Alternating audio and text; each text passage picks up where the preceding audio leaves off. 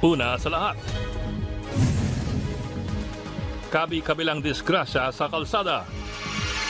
SUV sumingit sa gitna ng isang sasakyan at motorsiklo habang nasa flyover. Habang sa Cebu City, rider at angkas niya, patay ng magulungan ng SUV. Yan at iba pang aksidente sa kalsada, abangan maya-maya lamang. Magandang gabi, Pilipinas. Sa Frontline tonight,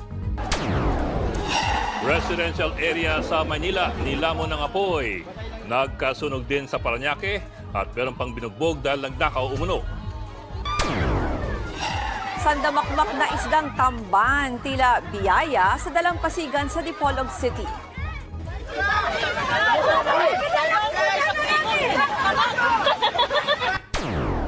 Kabaligtaran yan sa Pangasinan kung saan matumal ang huli dahil sa El Nino.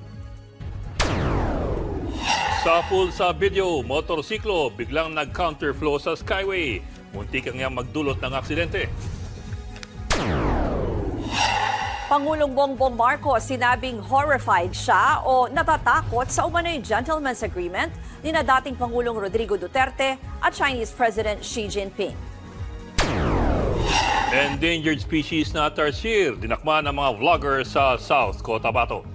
Smile, baby! Smile! Oh.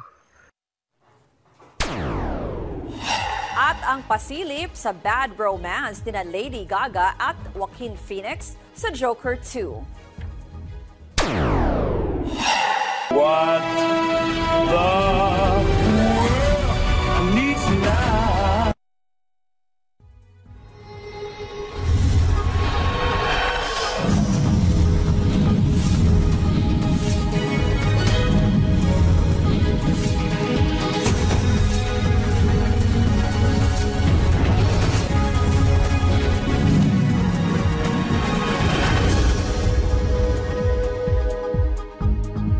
Kaliwat ka ng sunog ang sumiklab sa Maynila at Paranaque ngayong araw.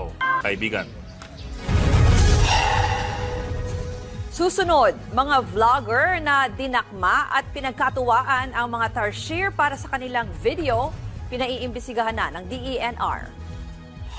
At Lady Gaga may pasilip sa kanyang role bilang Harley Quinn sa bagong Joker movie. Magbabalik pa ang Frontline tonight.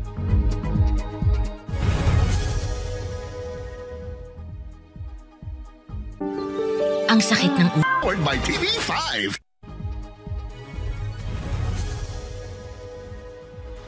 Sa pool sa dashcam, ang magkakahiwalay na aksidente sa Metro Manila at iba pang probinsya.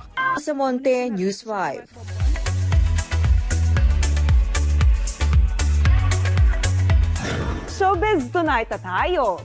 Hindi muna matutuloy ang reimagined concert ni Janela Salvador. Sa TV5.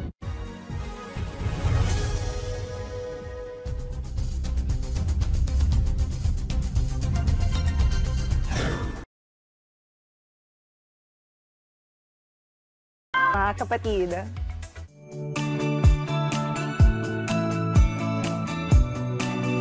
At para naman sa ating pabaong Pampa Good Night, kwento ng inspirasyon ang tampok natin ngayong gabi.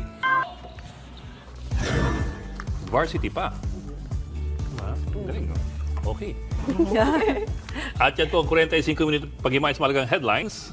Balitan at diskusyon para sa paghubog ng matalinong opinyon. Kami yung kasangga sa pagbabalita. Sa ngalan ni Mean Dos Baños, ako po si Ruz Cabal. Ako lang po si Adlingao. Magandang gabi.